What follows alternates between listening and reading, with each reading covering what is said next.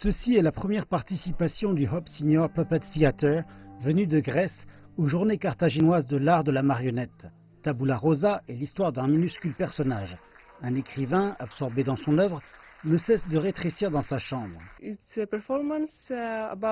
C'est un spectacle sur les difficultés que rencontre quelqu'un qui crée, dont l'écrivain rétrécit, afin de créer quelque chose.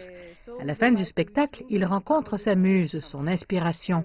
C'est une histoire simple avec des marionnettes à fil. C'est la saison des vacances en Tunisie. Les enfants viennent de nombreuses régions pour jouir des spectacles internationaux qui narrent des histoires universelles sur les valeurs humaines. J'ai beaucoup appris du personnage comme l'importance de lire et d'écrire et le sacrifice des écrivains pour publier des livres pour enfants.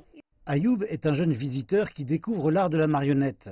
Il a assisté à des spectacles vivants et a participé à des ateliers pour apprendre comment créer, personnaliser et manipuler des marionnettes. Cet événement est fantastique. J'ai tellement appris à la Cité de la Culture. J'ai écrit mon propre scénario et je me suis essayé à manipuler diverses marionnettes. Cet art nourrit l'imagination.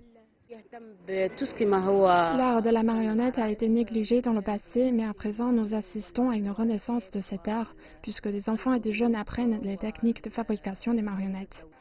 Des dizaines de marionnettes tunisiennes et africaines sont exposées dans le hall principal de la Cité de la Culture. L'installation recrée l'histoire de cette discipline artistique dans la région.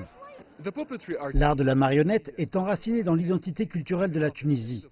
Les journées carthaginoises de l'art de la marionnette sont le meilleur événement au travers duquel cet art est promu comme l'un des outils d'expression et de communication les plus appropriés pour les publics enfants et adultes.